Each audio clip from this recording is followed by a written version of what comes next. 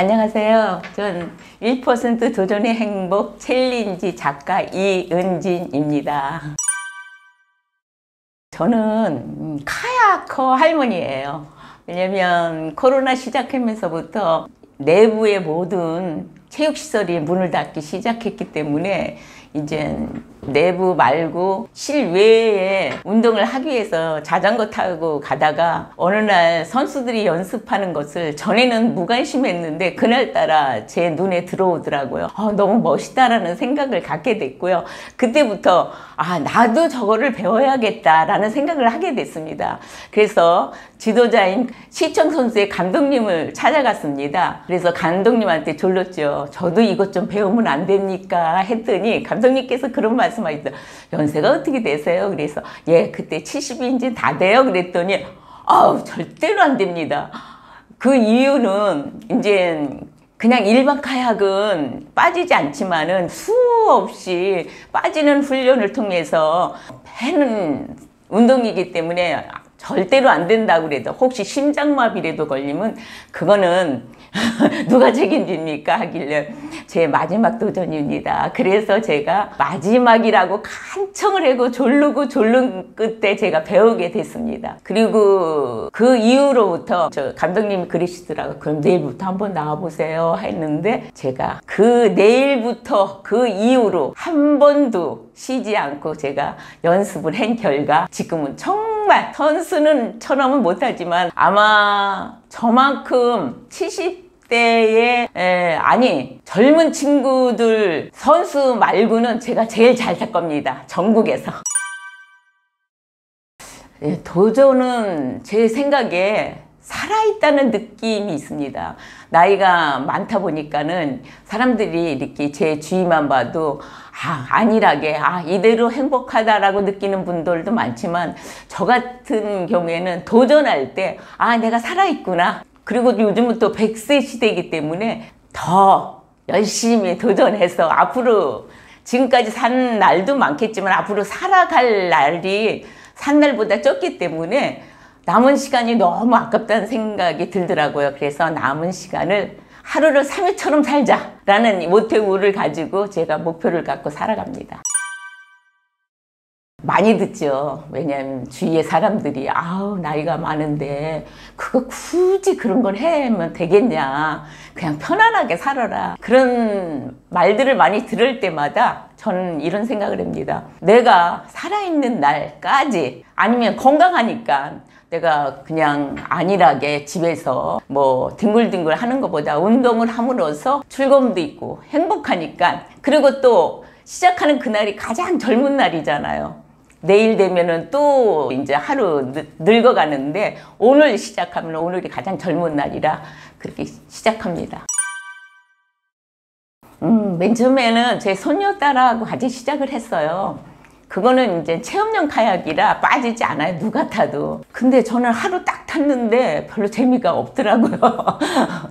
그래서 케온을 탄다고 했을 때 다 말렸죠. 왜냐면 위험하다고 느끼니까. 그런데 가족한테 별로 말 안 하고 몰래 했습니다. 잘 탈 때, 어, 우리 손녀딸한테, 야, 너가 어, 할머니가 이 캐온을 타는데 한번 너도 다시 체험배 말고 타볼래? 그랬더니 음, 나 잘 탈 수 있어 하고 따라오더라고요. 근데 앉는 순간에 넘어지니까 몇 번 시도하더니 할머니 나 안 돼. 나 도저히 못해. 하고 다시 가면서 할머니는 그걸 어떻게 타? 이렇게 말을 하더라고요. 그래서 이제 그때부터 또 텔레비에 나오고부터 내가 말 안 했을 때 이제 가족들이 다 알게 됐어요. 텔레비 방송에 나오니까 어, 어머니 이런 것도 타셔요? 하고 다 놀래더라고요. 왜냐면 제가 가족들이 잠든 사이 새벽에 가서 연습하고 새벽에 들어오니까는 아마 한동안은 몰랐습니다.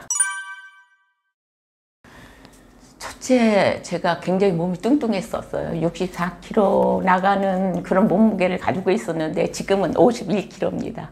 그것처럼 건강해지고 혈압약도 먹었는데 혈압약도 끊고 또 뭐 관절이나 아니면 이런 것들이 모두 정상으로 돌아온 것 같아요. 그래서 굉장히 좋아요. 어, 사람마다 살아가는 방법은 다 틀리다고 생각해요. 그런 말을 자주 들어요. 이제 제가 친구들이나 아니면 옆에 있는 사람들이 나를 보고 굳이 그렇게 열심히 살아도 돼? 그렇지만 안 살아도 되잖아. 이제 편안하게 즐겨. 편안해 즐긴다라는 것이 다 사람마다 생각이 틀리기 때문에 전 도전할 때가 가장 행복하고 가장 좋더라고요. 도전은 어렵지만 그것을 성공할 때 그 성취감은 아마 억만장자는 안 돼봤지만은 억만장자가 이런 행복을 느끼는 것이 아닌가라는 생각을 해봅니다. 아, 어려운 것을 선택을 해야만이 도전 의식이 생기더라고요.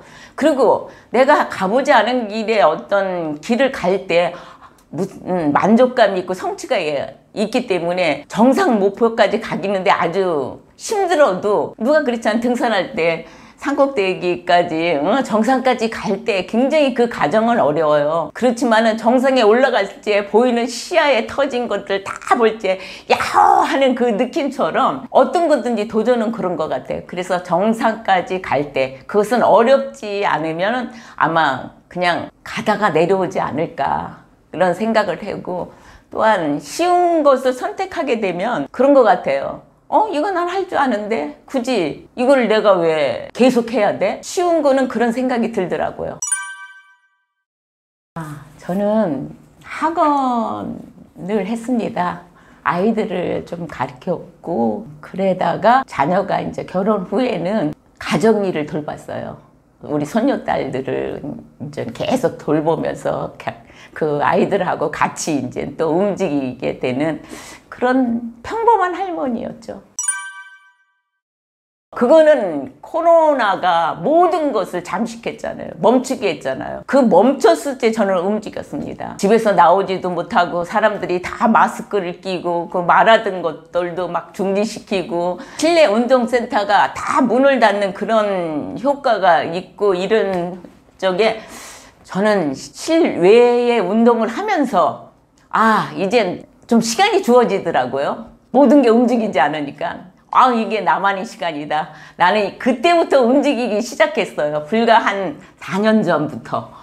그랬더니 이렇게 큰 변화가 일어났습니다. 첫 번째 도전을 하게 되면 두려움이 와요. 그건 아마 누구한테나 다 있을 거예요. 근데 어떤 도전을 해서 성공을 해 본다면 내비게이션처럼 길을 알게 돼요. 어, 길을 알으면 아 선택을 하고 도전을 했으면 두려움이 분명히 오는데 이 도전에 두려움이 왔을 때 아 나는 인내하고 견뎌야겠다라는 생각을 갖게 돼요.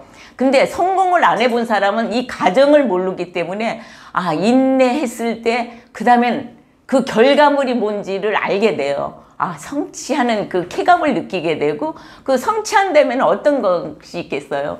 만족도가 있고 행복해지고 아, 이게 계속 반복하다 보면 성공이라는 것을 느끼게 돼. 그래서 한 번만 도전에 성공한다면 은 다른 도전을 했을 때도 쉽게 그 과정을 겪을 수 있다라고 저는 생각합니다.